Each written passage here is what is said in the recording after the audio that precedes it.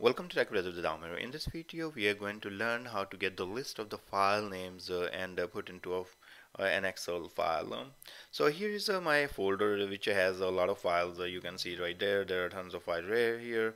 Then I have subfolder and there are some files there. And then we have uh, another folder that also contains some file what I want to do I want to get the list of all those file names uh, here and uh, in these subfolders as well and uh, uh just uh, put in the Excel um, so to do that uh, what I can do I can go to the search here and then type asterisk dot asterisk and then it's gonna give me the list of all those files here.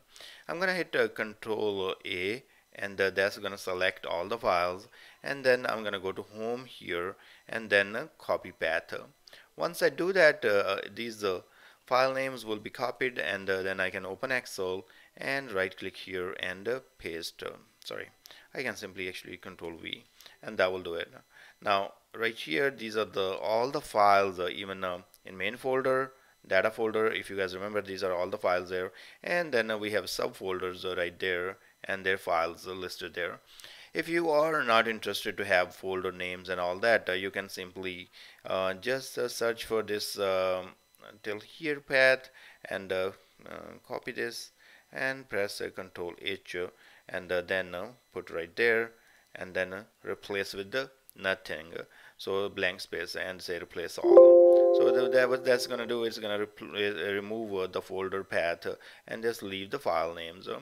Still you will see some uh, subfolders name and then you can go ahead and search out for those and remove them.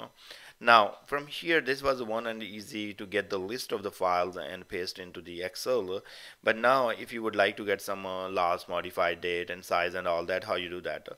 So what we can do here we can go to the our folder here and then copy this path.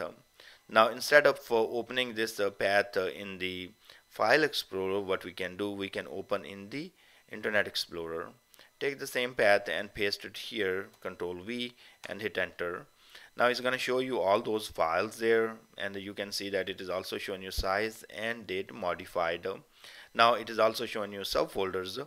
So what you can do you can uh, control A and copy everything and control C and now we can go to the Excel again. And uh, here is my second sheet. I can uh, click here. And now I have two options. Um, I can do is keep uh, source formatting. And this, if I do that it's gonna bring everything like this um, okay? And then I can later delete this. I don't need this one. And I don't need the parent directory as well. And uh, then uh, I can uh, simply click right there and bring close right there okay so this is a uh, gonna put a format something like this. Um, that's not uh, uh, you know too readable and all that. Is not really helpful. So instead of uh, having a format like this uh, you might want to go with the more uh, you know text format so click on sheet 3 and then uh, you click uh, right there right click there and go on this format um, match destination formatting. Uh, click right there and then uh, it's gonna paste all the records like that. This is more like a text you know what we wanted to get.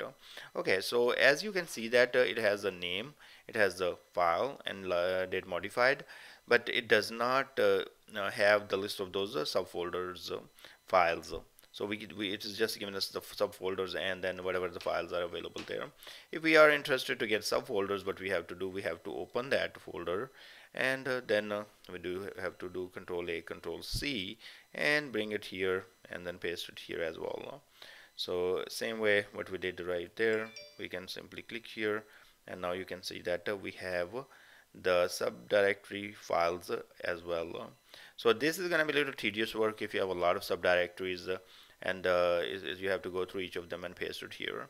Uh, but um, uh, it's, it's, kind of quick way you can use the first method where you know you put everything here do asterisk dot asterisk get all the list of the file and just do the uh, copy file path and paste in the Excel that will do it. Or otherwise you can do through this one you know uh, come into the Internet Explorer such as uh, that can be your um, Chrome or that can be your uh, window Edge or you know different uh, Internet Explorer. You can do that as well so I hope this trick will help you to get some information. Um, I have another video how to use CMD to get the list of the files with the uh, their sizes and all that and uh, uh, put into CSV file. So that will uh, actually do the more um, uh, straightforward but sometimes people are not familiar with the CMD and DOS commands and all that. So this was just more like a general graphical user interface way to get the list of the files from different folder and put into the Excel. Thank you very much for watching. Please subscribe my channel